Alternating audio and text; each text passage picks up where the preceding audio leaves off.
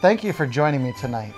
Before I make this announcement, I wanted to take this opportunity to thank all of our alumni for your incredible service to our God.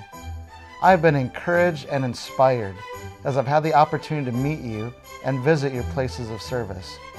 I was also overwhelmed by your outpouring of love and support for faith during our time of need this past summer. There is no way we could have started school on time without your help. As you sent money and physically showed up to help us recover, you had a deep impact on our campus.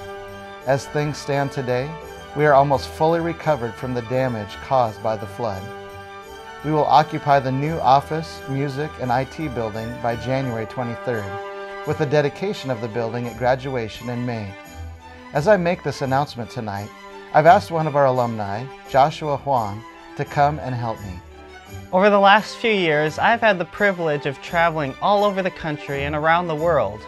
And along the way, I have crossed paths with many faith alumni. I have met pastors, missionaries, teachers, and photographers all serving God in various ways. With that in mind, as an alumnus of faith, it is my pleasure at this time to ask Alyssa Levy if you will marry me. I would love to take the word to the world together with you.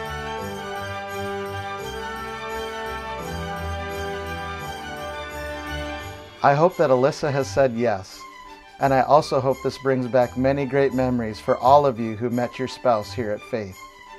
As we start the new year, from Joan and I, we'd like to wish you all a very happy new year, and may we all serve God faithfully till He comes back. God bless.